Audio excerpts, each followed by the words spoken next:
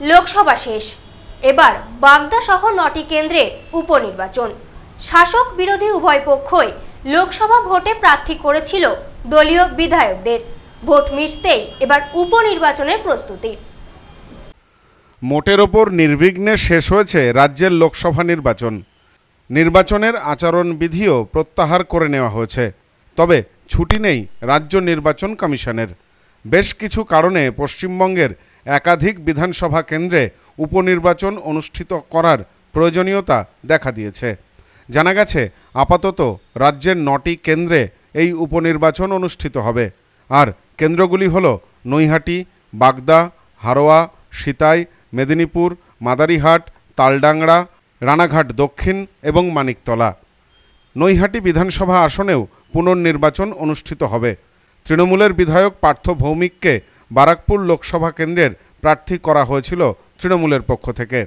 তিনি জয়ী হওয়ায় এখানে উপনির্বাচন অনুষ্ঠিত হবে। উপনির্বাচন হবে উত্তর চব্বিশ পরগনার বাগদা বিধানসভা আসনটিতেও।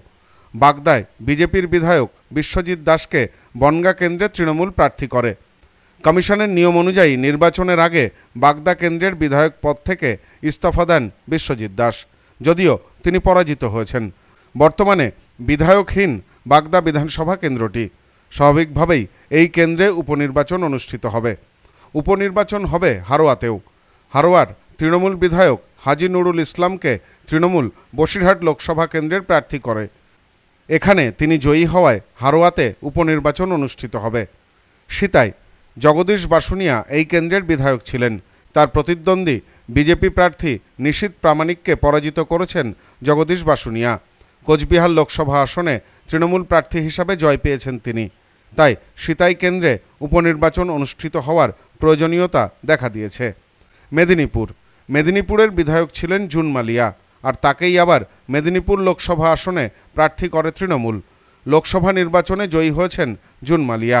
জুন সাংসদ হবার পর এখানে উপনির্বাচন অনুষ্ঠিত হতে চলেছে। মাদারিহাট। মনোজ টিক্কা এই কেন্দ্রের বিধায়ক ছিলেন। তাকেই আবার বিজেপি আলিপুরদুয়ার লোকসভা কেন্দ্রের প্রার্থী করেছিল। নির্বাচনে জয়ীও হয়েছেন মনোজ। আর সে কারণেই এখানে উপনির্বাচন অনুষ্ঠিত হবে। তালডাংরা। এই কেন্দ্রের বিধায়ক ছিলেন তৃণমূলের অরূপ চক্রবর্তী। তাকেই বাঁকুড়া লোকসভা কেন্দ্রের প্রার্থী করে তৃণমূল। তিনি লোকসভা নির্বাচনে জয়ী হয়েছেন। স্বাভাবিকভাবেই এই কেন্দ্রে উপনির্বাচন হচ্ছে। রানাঘাট দক্ষিণ। এখানকার বিধায়ক ছিলেন মুকুটমণি অধিকারী। নির্বাচনের আগে দলবদল করে তৃণমূলে নাম লেখান মুকুটমণি অধিকারী। তৃণমূল তাকে রানাঘাট কেন্দ্রের প্রার্থী করে। নির্বাচনের আগেই তিনি বিধায়ক পদ থেকে ইস্তফা দেওয়ায় এখানেও উপনির্বাচন হবে। উপনির্বাচন অনুষ্ঠিত হবে কলকাতার মানিকতলা আসনেও। মানিকতলায় তৃণমূলের বর্ষিয়ার নেতা সাধন পাণ্ডে ছিলেন এই কেন্দ্রের বিধায়ক।